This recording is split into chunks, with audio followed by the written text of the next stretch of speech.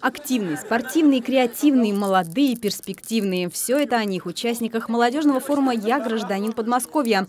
Эта позиция достойна уважения и продолжения. На место проведения форума Волоколамский район поддержать и пообщаться с ребятами из нашего городского округа приехал исполняющий полномочия главы Сергей Горелов.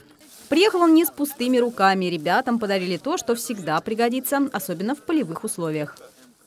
Ну, а чтобы напомнить ребятам из нашего городского округа о малой родине, сюда а, привезли вот такие футболки с новым брендбуком городского округа Щелково.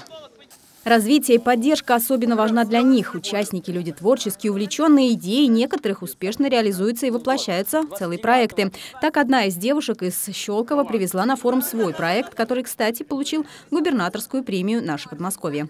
Проект быстрых свиданий здесь и сейчас. Также я здесь еще провожу настольные игры и квиз интерактивный.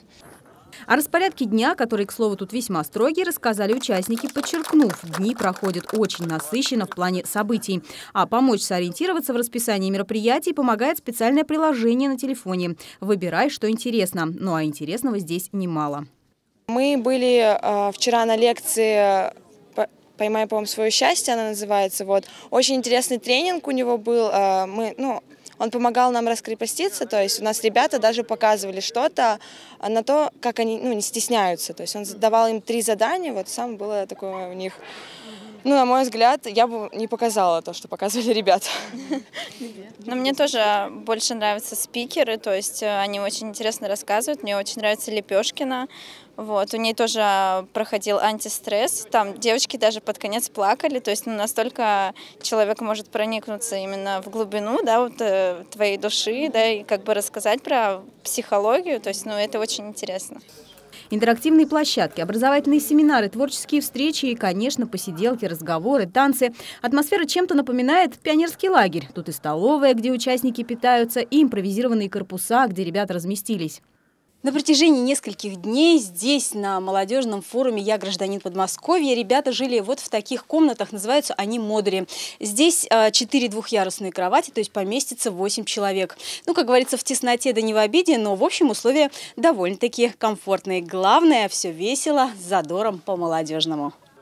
Эта смена называется «Кадры будущего». Длится она несколько дней. Некоторые ребята приезжают сюда не впервые и сразу на несколько периодов. Александр Пирожков, постоянный участник, нашел на форуме «Я гражданин Подмосковья» не только новых друзей, но и хобби. Юноша увлекается актерским мастерством и отлично показывает фокусы. За все пять смен я почерпнул для себя довольно-таки интересные знания. А, например, вот были, было пару смен, связанных с театральным мастерством. А, я встретил хорошего актера, его зовут э, Сергей Катюх. Он провел у нас вроде два мастер-класса, связанных с импровизацией. И, вот, и как раз я узнал много полезного. Атмосфера располагает шутить, общаться и увлекаться, в данном случае профессионально, с пользой для будущего.